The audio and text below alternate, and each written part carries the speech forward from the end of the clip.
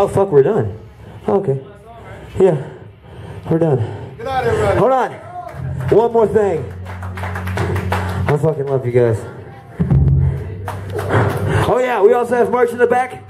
White t-shirts are twelve dollars and black t-shirts are ten dollars. And then Life Curse has shit in the back. Go check that out. So does Dead Spell, and I'm pretty sure every other band here does too. So go check it out and check out the store because these guys are fucking awesome.